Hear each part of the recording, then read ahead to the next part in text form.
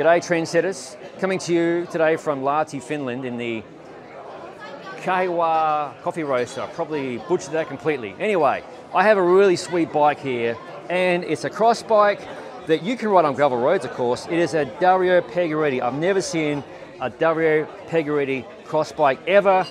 Here's his owner, Juuso. He's going to tell us about the bike in a moment.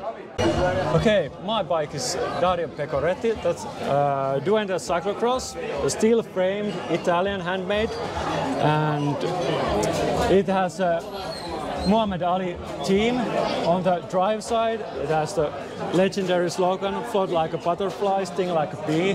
On the non-drive side, it has I am the greatest, which tells a lot about me also. Yeah. I love this bike. It has 10 speed records, very beautiful.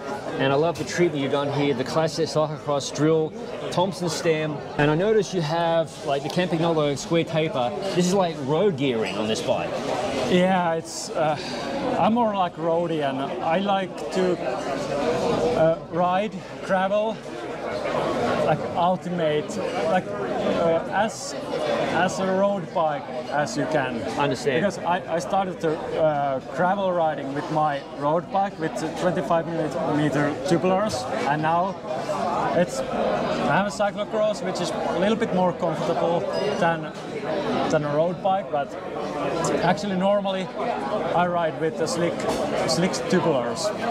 but I don't want to upset people here. No, no, no, it doesn't matter. Hey, there are no rules in gravel. That is fantastic. Yeah, at the, at the moment everyone's riding tubulars, and Yeah. So, but I'm, I don't like to do it the old school. Whatever but- works. But And I love the cassette. This is a 1223. Look at that. Look how tight that is. Now, I watched this gentleman climb today. He was turning squares a couple of times, but he has big quads. It's no problem. This is a true cyclocross bike. So the clearance is not great, but you don't need to have a fancy gravel bike to ride gravel roads. It's very beautiful. Let's uh, let's flip it around and look at the non-drive side. And here we go. I am the greatest. Beautiful. Very nice. Have you ridden a lot of gravel events on this bike or just for training? yeah, a couple, couple. It's Okay. When I, whenever I have time. So.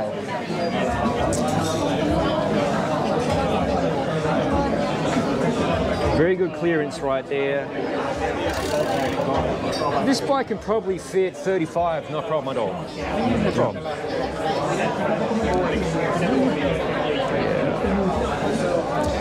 Now, what There's also, of course, a picture of Maestro himself. It's already Ah, worn. yeah, yeah, yeah, yeah. And what are the wheel set on this bike? Oh, DT Swiss.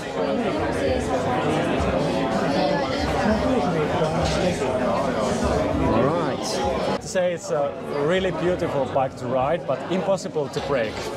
No, it's okay.